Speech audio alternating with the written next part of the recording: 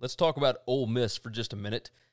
Lane Kiffin has stated that his football program has reached 100% vaccination rate. Now, we haven't talked much about the vaccine stuff. We haven't talked, you know, we, we try not to get too political on the show. Uh, but the idea of being able to get every assistant coach, every staffer, every everybody that is involved with the program, including all of these players, to all agree to do one thing, uh, lets me know that he is an incredible leader at this point, and he's got that program headed in just one year in the exact direction that he wants it to go because everybody is following along. Could you believe that they got to 100% at Ole Miss? Uh, I mean, it. I don't know that shocks me. It makes me, you know, see that some of these some of these coaches are, you know, I'm curious the amount of influence the head coach has. I'm curious how much of this is the student's decision to want to be and to do these things on their own, or or is this a you know this is all lane and kind of making it clear if you're going to play here, you're going to do this, and if you're not going to do that, then you know you don't we don't have a spot for you. I'm very curious the methods used to how we got. Yeah, no, that's that is a good point. I had not thought of that.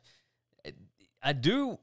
I mean, it's just difficult, right? In in Mississippi, you know, Mississippi ranks dead last in the country as far as vaccination rate. The resident percentage of residents receiving at least one vaccination dose in Mississippi is 41.6%, which is even lower than Alabama at this point. Like it is it's pretty low and for a football program in this state to get to 100%, I mean that's I, I'm just shocked. Just shocked. And I however he did it. It's impressive. I would like to see I'd like to see those numbers broken down by counties.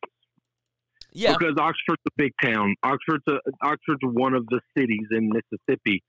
I'm going to bet the majority of all of the unvaccinated uh, people in our area, and and I would bet this is for the majority of the country. By the way, is is people in rural counties, the rural cities.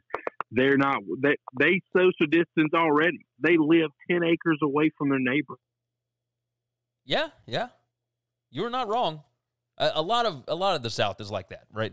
I mean, there's a lot of spots, and they're uh, also mostly extremely poor people as well.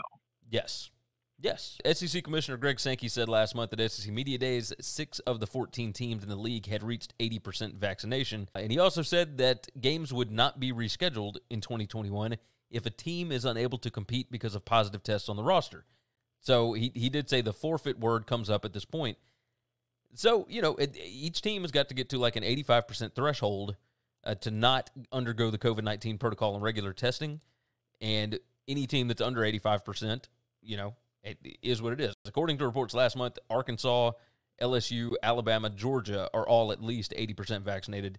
And Ole Miss uh, hitting it 100%. I was shocked at the number. Shocked at the number. Thanks for listening to the Winning Cures Everything podcast. The website is winningcureseverything.com, and if you want to connect with us, we're on Twitter at Gary WCE, at Chris B. Giannini, at Winning Cures, or you can email us, Gary at winningcureseverything.com or Chris at winningcureseverything.com. Subscribe everywhere you need to subscribe, and we'll see you soon.